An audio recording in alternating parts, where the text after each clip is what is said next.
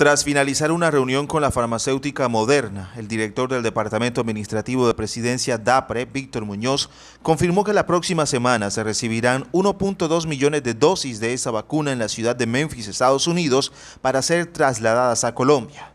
Así las cosas, espera entonces que llegue al país un total de 1.2 millones de dosis de vacunas de esta casa farmacéutica tras agotarse todo el inventario nacional. Adicionalmente, el 30 de septiembre arribarán a Colombia otros dos puntos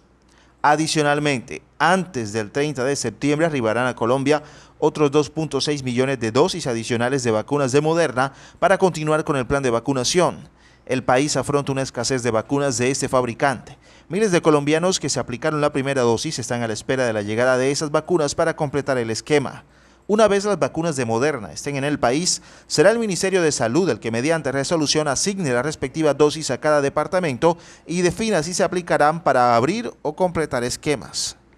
Este anuncio se une al hecho por el ministro de Salud, Fernando Ruiz, en torno a la llegada en septiembre de 12.7 millones de vacunas de diferentes fabricantes, entre las que se destacan más de 1.300.000 dosis de Pfizer, más de 1.100.000 de AstraZeneca, 4 millones de Moderna en total, 2 millones de la vacuna de Janssen, más de 900.000 dosis de la vacuna Pfizer a través del mecanismo COVAX, al igual que 2 millones de Sinovac y un millón de dosis de vacunas donadas por el gobierno español.